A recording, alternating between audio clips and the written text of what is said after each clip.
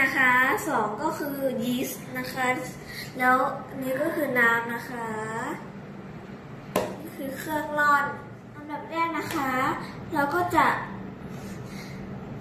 ร่อนแป้งนะคะ เราใช้ที่ร่อนนะคะ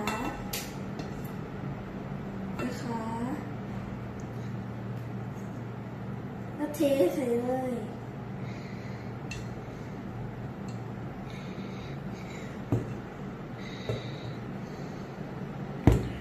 ก็ร่อนร่อนร่อนนะคะ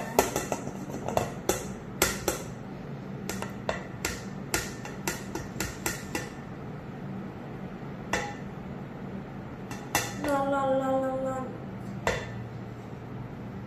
ประมาณร่อนร่อนร่อนร่อนไปนะคะ ร่อนแป้งนะคะ เราก็จะผสมน้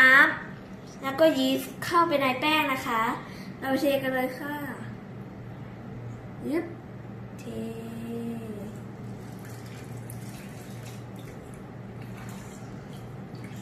เทน้ำลงไปเสร็จแล้ว ก็ยีสต์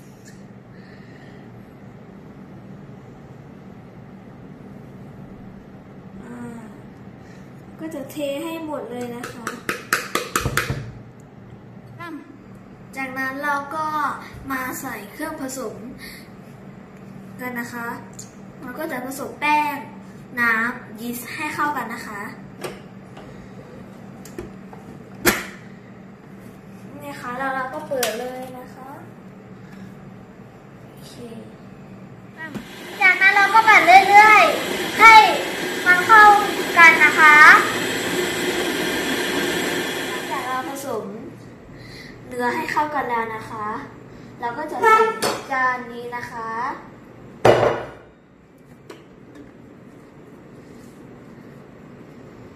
จากเราเนื้อเข้ากันแล้วนะคะเราก็วางไว้ในถ้วยนี้ แล้วก็เอาผ้าที่ชุบน้ำนะคะ มาวางคลุม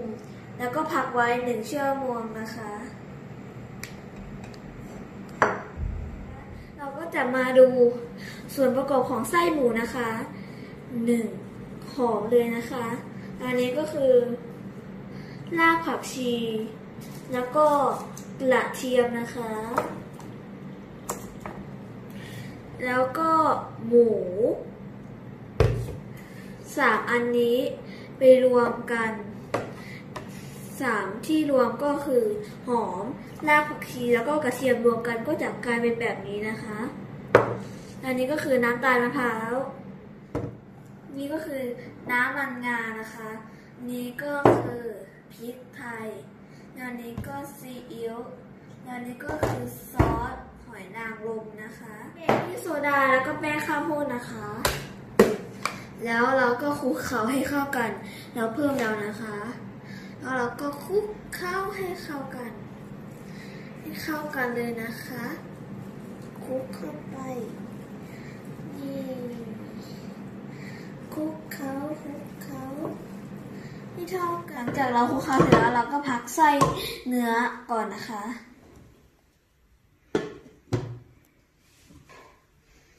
คะก็คือ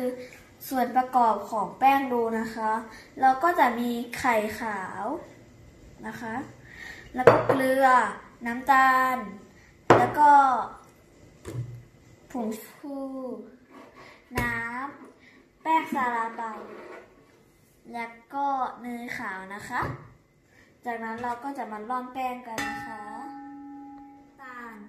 แล้วก็เกลือเข้ากันนะคะ ใส่ลงไปในนี้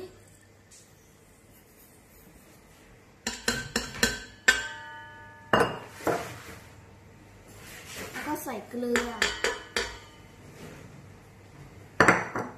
จากนั้นเราก็จะปิด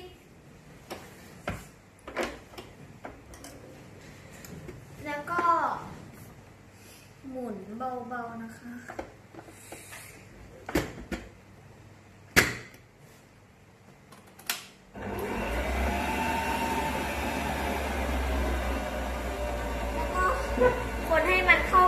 นะคะ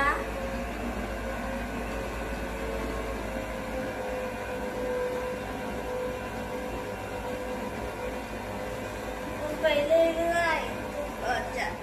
ห ลังจากเราผสมให้เข้ากันแล้วนะคะ เราก็ใส่น้ำแล้วก็ไข่ขาวเข้าลงไปนะคะเทน้ำลงไป ต่อจากนี้ก็ไข่ขาวเทลงไปเทแล้วก็ปิดฝานะคะ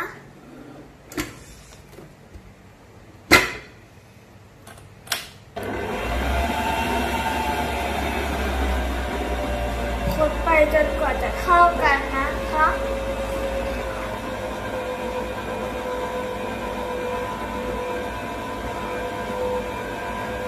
หลังจากเราคนให้เรียบร้อยแล้วนะคะ แล้วก็จัดเทเนยขาวลงไปข้างในนะคะตีให้หมดเลยนะคะ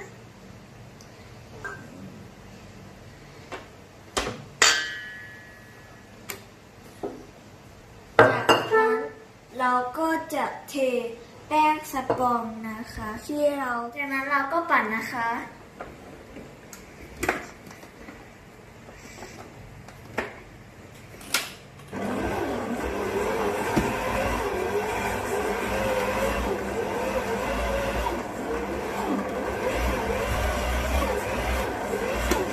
เราก็จะใส่ก้อนต่อไปนะคะ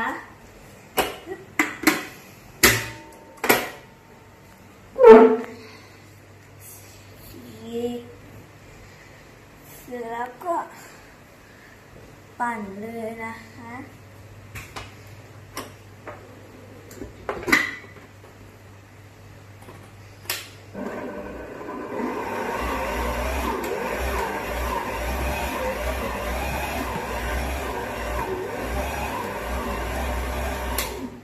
จากนั้นเราก็ใส่ก้อนสุดท้ายเข้าไปนะคะ ปิดฝา แล้วก็ใส่ ดึงออกมาปึ๊บ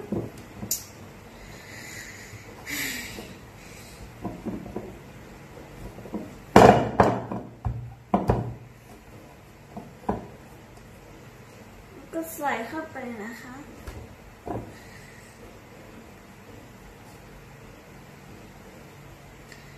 ใส่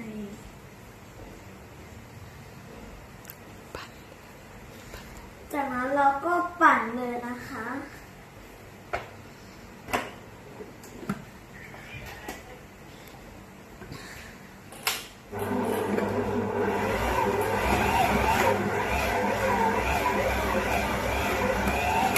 หลังจาก เราผสมเข้ากันแล้วเราก็เอาผ้าชุบน้ำปิดนะคะ ถึง 10-15 นาทีนะคะ ดังนั้นเราเสร็จแล้วเราก็จะมาดูผลที่ได้ออกมาเลยนะคะ จากนั้นเราก็มาปั้นแป้งให้กลมๆนะคะ ปั้นอย่างนี้ปั้นปั้นให้มันกลมๆนะคะ ขนาดเท่ากัน นะคะระวางตรงนี้ นะคะ แล้วก็ปั้นไปหลายๆก้อ นะคะจนกว่าแป้งก็จะคลึงแป้งนะคะนี่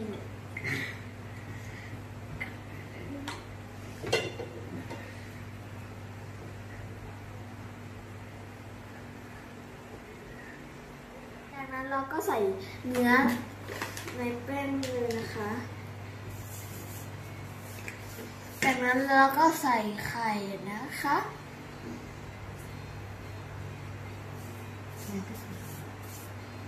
แล้วก็ห่อ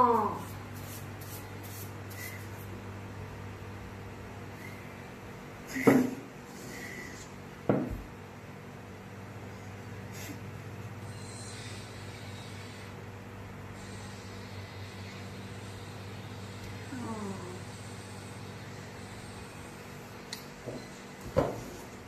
ห่อห่อ นะคะนะคะจากนั้นเราก็ใส่กระดาษนี้นะคะ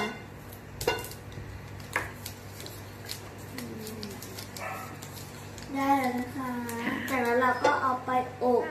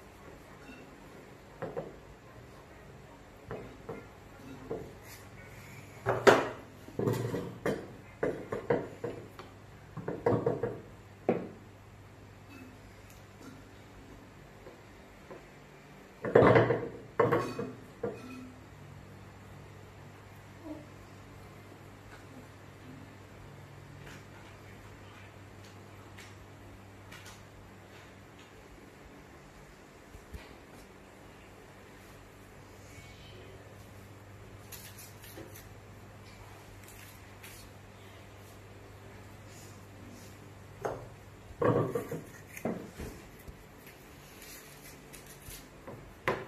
ี่นะคะ เราก็ปั้นเสร็จแล้วกันนะคะ เราก็จะเอาไปนึ่งกันนะคะเราก็เอาเข้านึ่งกันนะคะ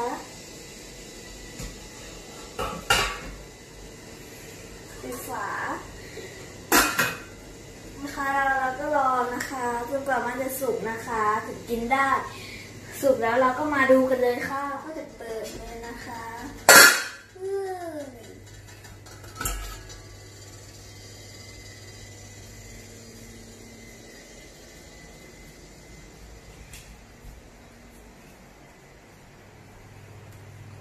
เสร็จแล้วนะคะมีซาลาเปาของของเราก็เสร็จแล้วนะคะ หอมมากเลยค่ะ มา ลองกินได้เลยค่ะ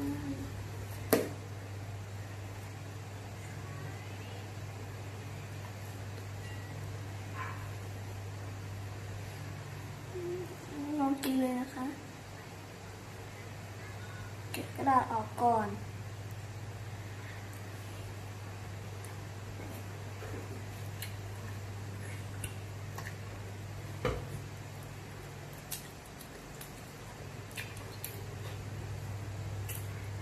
อร่อยมากเลยค่ะ การทำซาลาเปาครั้งแรกนะคะ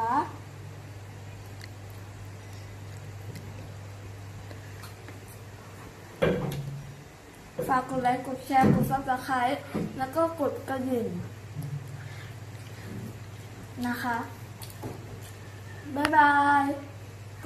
ให้ช่องหมอกิ่งแกรนนะคะ